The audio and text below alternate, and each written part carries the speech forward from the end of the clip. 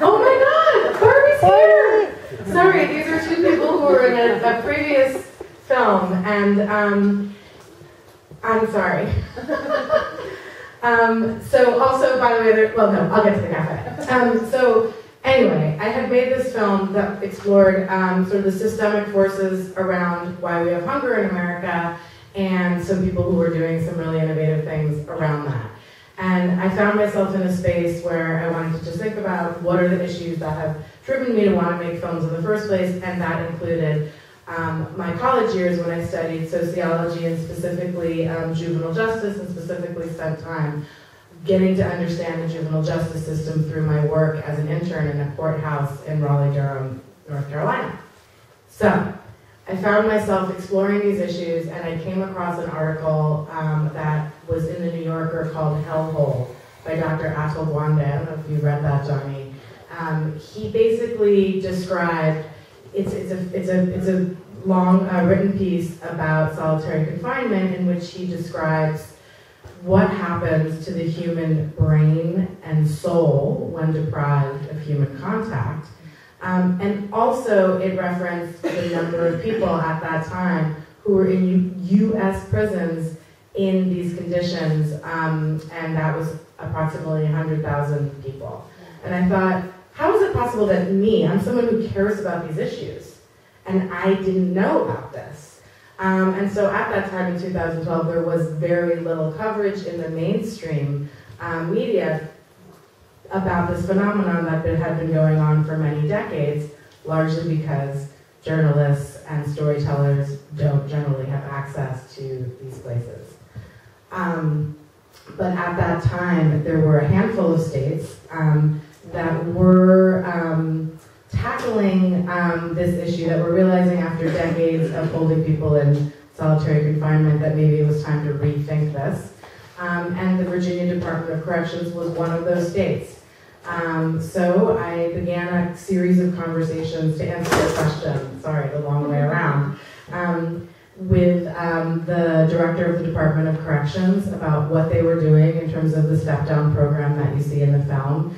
And that in order to you know, understand what they were doing, also I needed to understand or I would need to capture and try and tell the story of what it means to be in um, solitary or segregation, as it's called, in many prisons. Um, and so um, I was given access to come film for what was going to be three days. Um, in fact, exactly three years ago to the day was the first uh, shoot um, that took place um, at Red Onion State Prison. And um, eventually, because the access was so extraordinary, um, I realized it was a really incredible opportunity and very specifically to tell the story of the men and women, but in this case, men, whose stories are just largely, you know, forgotten and ignored. Um, and I had this like incredible both opportunity and responsibility um, that became rather onerous. um, but here we are to talk about the, the film. So. And Johnny, I'm so grateful that you're here. I mean, you know, prepping for this, the work that you're doing is amazing. Um, so I'd love if you could tell everybody a bit more about that and also, you know, how you came to make this your life's work. That's nice. Um, thank you for having me. Is pretty exciting to be able to come into the space and, and, and to talk about the issue. Um, I just mentioned my name is Johnny Perez. I'm based out of New York City. I work for a place called the Urban Justice Center, which is a nonprofit uh, legal services firm that provides pro bono services for people that can't afford it. Um, and we do a lot of work around a lot of, a number of different issues, but we are also specifically working on uh, solitary confinement. And what we try to do is we really try to change the policies around around this issue. You know, when you think about it, there are 100,000 people across the country who are locked inside of cells the size of maybe you know two parking, two Walmart parking spaces. You know, how I came into the work myself is that I myself experienced solitary. I, I, I was a solitary for three years, uh, uh, three years altogether um, out of a 15-year uh, sentence. Uh, when I was 21, I was sentenced to robbery first degree and did 13 years out of that. And now I use those use those experiences to talk to legislators and raise awareness about these issues to try to really change the law. Um, it looks different. Solitary looks different ways in different states. You know, it's called by many different names. It might, it might be called you know, administrative segregation, you know, solitary confinement, um, even protective custody sometimes works as a de facto kind of uh, uh, uh, solitary confinement for some for some people in some states. Um, you know, you're locked in 23 hours a day. You know, just like I saw in the film, 23 hours a day. Sometimes more. The way that it works in practice, if the correctional officer walks by, or now or maybe just doesn't feel like letting lock that day. Um, you know, and a lot of people are held there for um, not only weeks and months, but actually years and even decades at a time. You know, um, unfortunately, we have we have uh, two states in, two states in, in, in, the country who um, where you know the age of criminal responsibility is 16. You know, um, you know there's also you know solitary confinement for juveniles. You know, for, for kids, we are we live in a country where we place uh, kids inside of these kind of um, oppressive spaces. You know, if I if I lock my daughter in the closet for a year because she had a fight or something like that, I'll probably have ACS knocking at my door immediately, um, ready to bring up on criminal charges. Except that we live in a country where we legally do that to kids um, and, and adults and women. You know. Yeah.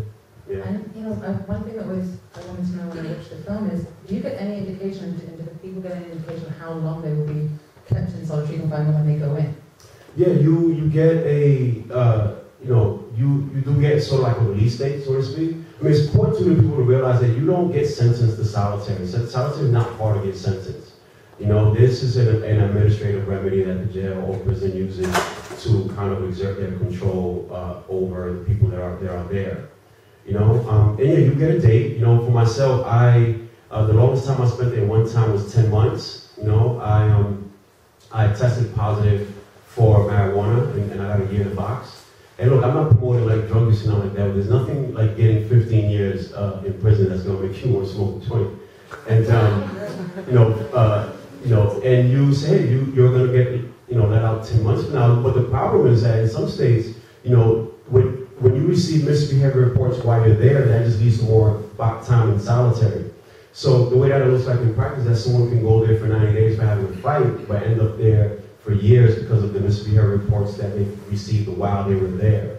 And, and if I could add to that, in, in my experience, um, not obviously my own personal experience, but um, just in trying to understand the issue and in meeting and talking to so many people who have been in solitary or sex across the country in various states. So it varies widely. Mm-hmm. Um, but also, you know, a, a, a very high percentage of um, people who are held in segregation or solitary confinement are often suffering from some kind of mental illness, um, which makes it more likely that they'll decompose further and, as Johnny said, uh, catch charges, catch more charges while they're in there, making it for some people an indefinite sentence, although on paper it's not indefinite.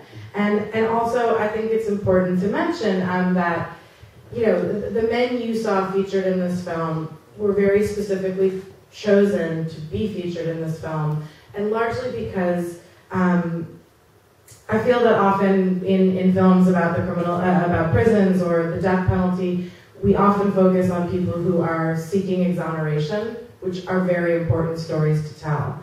Um, but there are also many people inside of our prisons who have committed a crime. And um, I, I, believe that we're all humans. Um, and so the, the guys that you've just met had obviously also done something that needed to be handled in some way. Um, seriously and taken seriously inside, inside within the prison system. But many, many people, hundreds, uh, tens of thousands of people, are getting sent every, every day to, to solitary for much more minor disciplinary infractions, perhaps they add up. Um, but that's just something that I, that I wanted to, to raise. Yeah, absolutely. So about 40% of the people in solitary are living with some type of mental illness. Um, and then, you know, you also have, uh, I mean, just I, on, on a global scale, we account for half of the world's isolated prisoners. You know, think about that. You know, I mean, there, there are other, you know, there are other countries that don't even have isolation at all. You know, and, and of course, as an advocate, you know, we don't advocate, we're not advocating for, um, like, you know, that we should hold people accountable. You know, we should definitely hold people accountable. Um, and so then I would argue that we should not be treating them inhumanely in the course of holding them accountable, so to speak. You know, and, and solitary, you know, when you're there, you're not receiving any kind of programs, whether it's anger management or, you know, educational, uh, uh, uh, you know, any type of educational um, resources, you know, or anything to address the problem that got you there in the first place. So we have to ask is that's the most effective way to, you know, uh, uh, you know, to address not only the problem, but also we have to keep in mind that 95% of the people that go to prison are coming back home one day. They're coming back into our society. They're going to be our neighbors, our whatever. You know, we're going to interact with, you know, with, with, with, people who are returning back into society. So we should keep that in mind while these folks are incarcerated to put them in a place in the best possible position to become productive uh, citizens. You know, you know, we're indirectly like paying for it through our tax dollars. Like there's a legislator right now saying that hey, Johnny Perez wants solitary here or whatever the case may be. You know, and the same way that we can call our legislators and say hey, we need another park in my community or whatever you know, people call the legislators for, we can also say, hey, we don't want this happening inside of this state. We don't want people profiteering off the misery of others. We don't want to, you know, create more human cages, you know. Um, what a lot in my experience, you know, about I've only, been doing this work for about three years, roughly three years. And you know what I noticed time and time again is that the legislators are making policy for people that they have never come in contact with, um, probably will never come in contact with. So by going to them, you know, and talking to them and closing out proximity and saying, hey, you know, I am the mother of or whatever. Well, you know what? I am just a concerned community member, you know, a citizen that, you know, don't think that this is right, you know, and I will not vote for you or whatever the case may be. Then you organize. You can have screenings at your school, at your panel, at your church.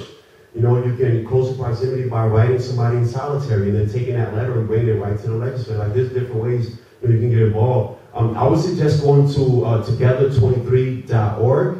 And, you know, in every state, the 23rd day of every month, which is symbolic for 23 hours a day that a person is incarcerated, uh, in, in solitary, there's some kind of action going on. And it might be as small as, hey, that day people might just Twitter or something about solitary all day, um, to more public, more public actions like holding sound in front of the governor's office saying, hey, we don't want, we don't want you, we don't want this, you know?